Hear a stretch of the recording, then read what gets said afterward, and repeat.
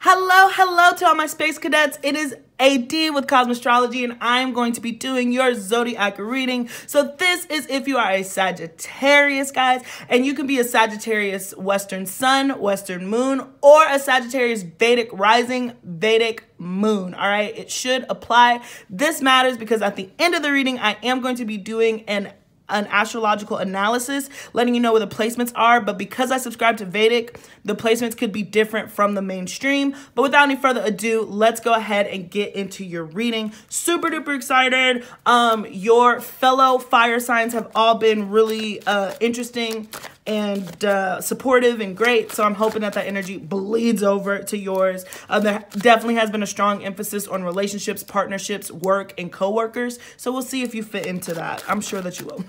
I'm sure that you will one way or another. We all travel in packs, all right? So this is for my Sagittarius people. Haha, the Knight of Cups starting off strong for your reading.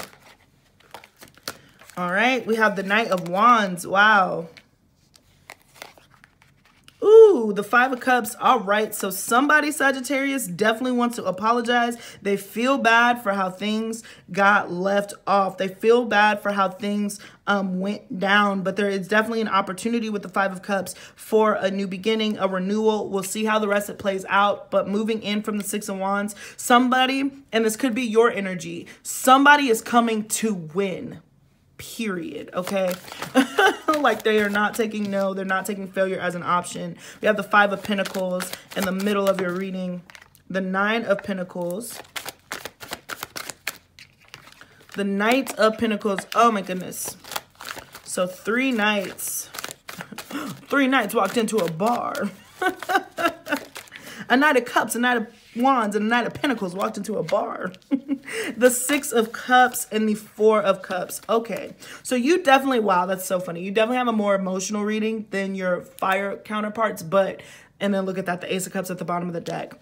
Okay so straight up straight up Sagittarius energy, there's definitely somebody from your past who wants to come back and, and offer you some sort of peace offering. They want to um they want to apologize. They want to rekindle. They want to give you love in spaces that they did not give you love before. And just so you know, in case you're new to my channel, I'm not necessarily a love-centered reader. Um, so, you know, this is your message. I'm going to give the message as it comes out. And so this definitely does talk about strong emotional ties, emotional bonds, could be friendships, could be platonic, could be work, but somebody has definitely wronged you in the past. They left you kind of out to dry.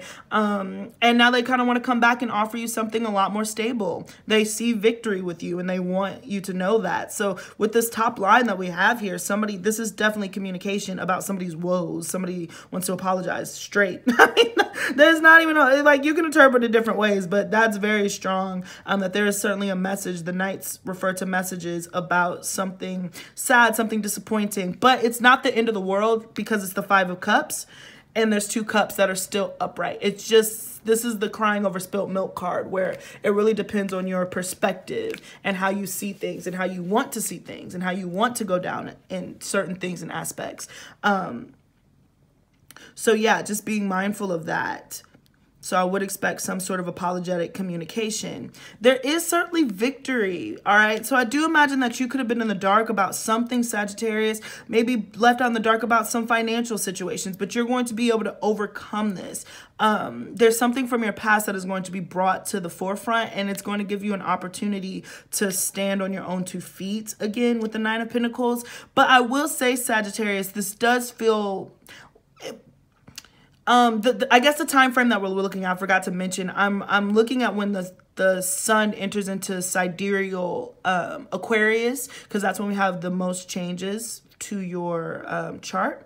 So this will this time frame is like mid February to mid March. So this time frame might not be the easiest time frame. You know, there are quite a few challenging energies here, particularly when it deals with money, finances. But I want to say you're not destitute. You're going to be able to get whatever you feel like you've lost, you're actually going to be able to get it back tenfold.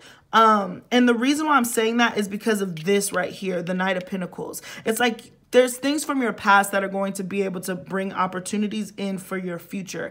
But you kind of seem like pretty powerless in this situation. You might feel powerless in the situation. Uh, but it honestly is going to be past deeds and past karmas that are going to really benefit you. So now looking at your outer influences, the Knight of Cups, the Five of Cups, the Knight of Pentacles, the Four of Cups. There's a message here. There's a conflicting message about something that is emotionally upsetting and it could deal with your finances. I'm not going to BS you. Um, or it could deal with somebody, a younger, a younger person, a younger love that just did not, was not revealing. um, and they feel very bad about it, but there's nothing to be done. And so it's like one of those things where like, I think both of you are kind of like, eh, there's really nothing to be done. But because of your past karmas, we have the Six of Wands, the Knight of Wands, the Knight of Pentacles, the Six of Cups. Look at this beautiful energy that's coming in. There will be victory. We have two sixes and we have two fives. So a lot of changes to bring balance and harmony. So you're going through like this really kind of mm, uncomfortable period in order to bring balance and harmony. Okay. So look at all this travel. Some of you guys could be traveling. You could be, you know, hopping on that high horse, stepping in high cotton. Um, so I would not be surprised if that happens.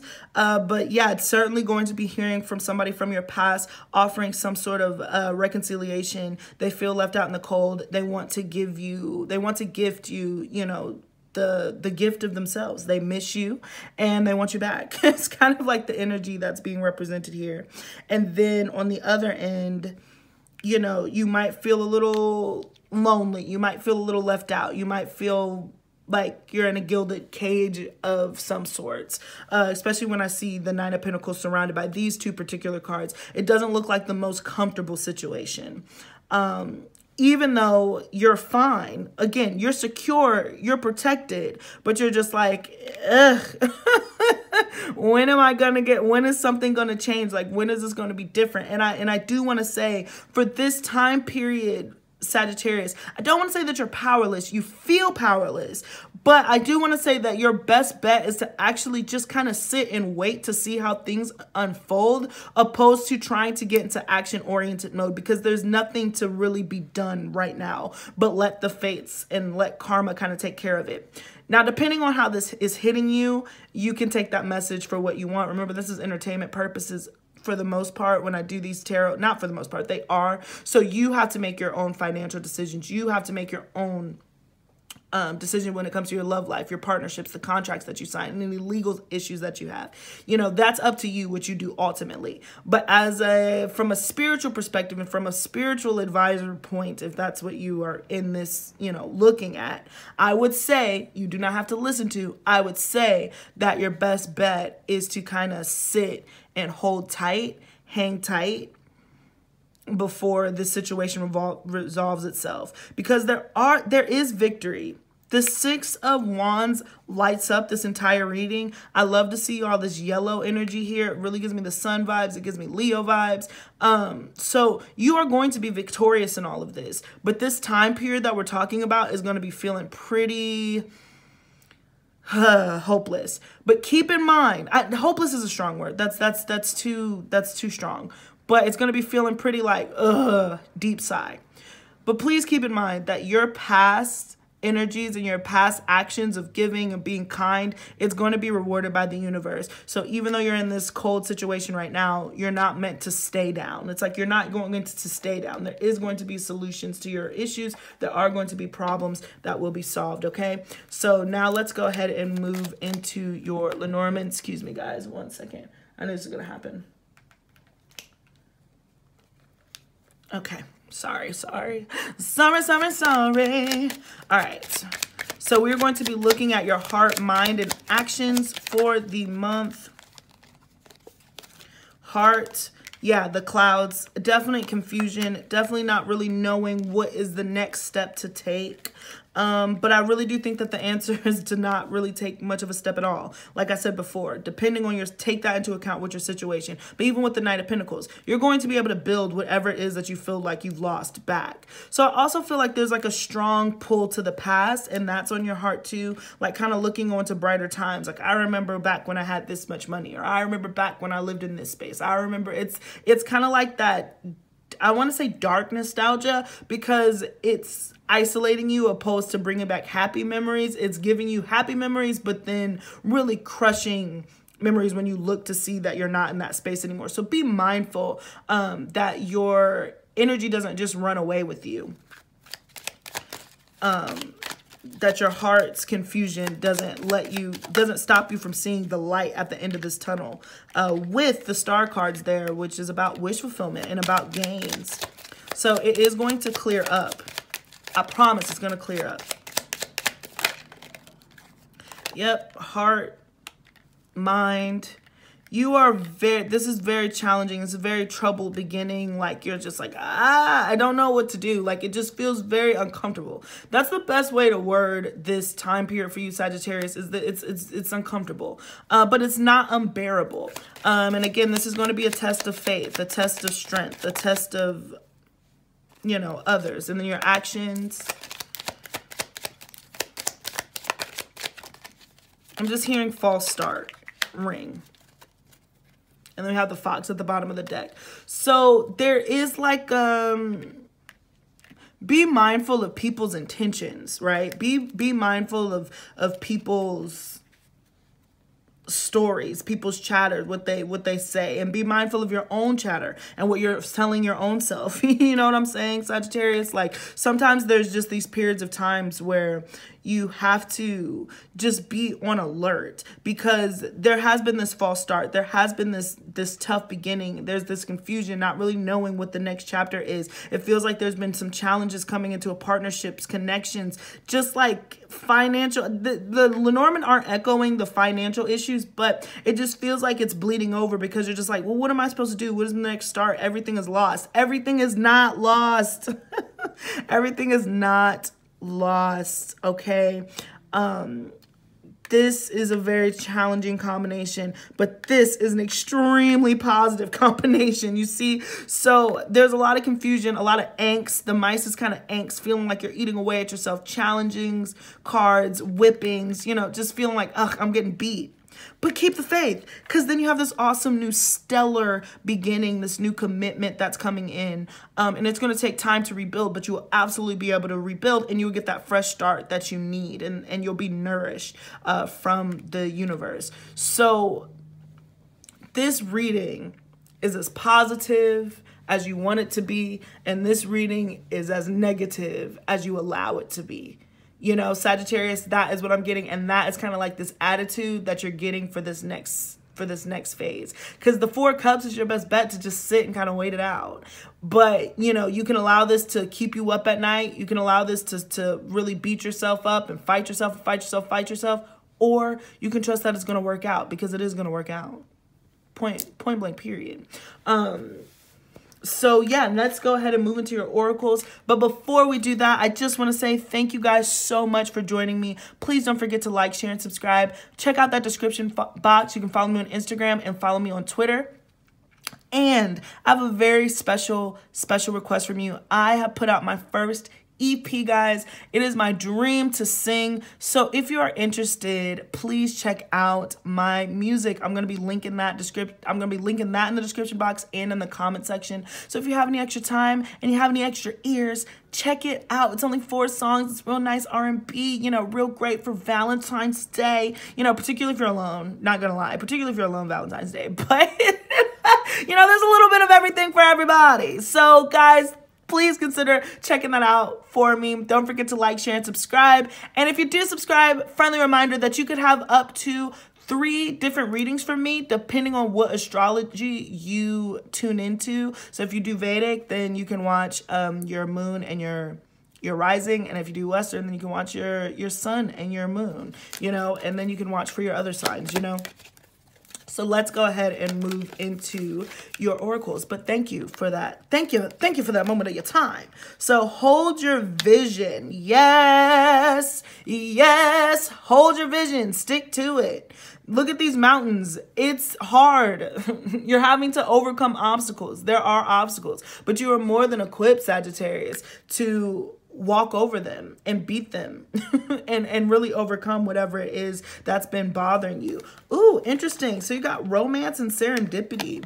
I like this. So four leaf clover. So there is luck in this situation and romance. You could be meeting somebody new. So stay open for that. We didn't really talk about it. But like I said, some of you, I think I said that at the very beginning where it's like you could have a past uh, relationship that comes back. Somebody who's trying to offer you stability offer you love so you could be getting hit on two fronts so it's like you're dealing with this financial stuff you're dealing with this confusion when it comes to your stability your security but at the same time there's somebody from your past who's like wanting to reach out to you and get to know you or you could end up bumping up into somebody you know an old lover an old fling this could be like a bright moment in a dark kind of situation. So just be open. I do see somebody coming towards you. I do see people wanting victory with you. But most importantly, I see victory for yourself. I see winning for yourself. I see you um, knowing and loving yourself.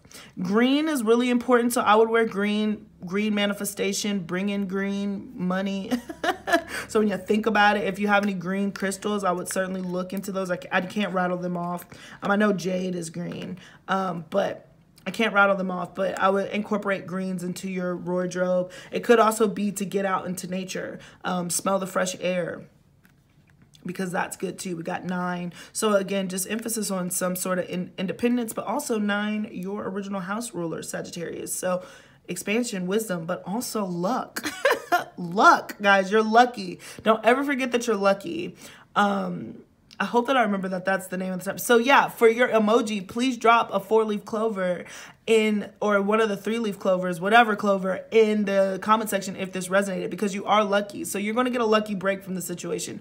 Do not think that you're not for a second. you're blessed and it's going to work out for you. In other spaces, it might not work out for everybody because they don't have Sag energy, but you do. So here we are. Um, so now we're going to move into your astrological analysis, guys. And this is what I was talking about earlier. Just as far as the placements could be different um, than what you're hearing in mainstream astrology. But I do find this to just be a tad bit more accurate. So we're going to look to see what I wrote uh, for your Sagittarius. Um, and let's go into it. So Sagittarius, your second house of owning will be up and down um, as Mars and Venus make a conjunction in Capricorn. You could be dealing with money issues, but also be beautifying your home and self. Always remember to to save when you can. You never know when you never know a rainy day.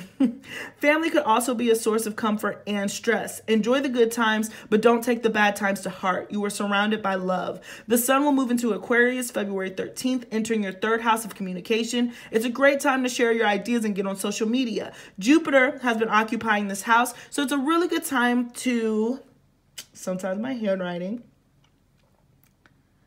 to get people on board, right? so sometimes it's a really good time to get people on board with your revolutionary ideas.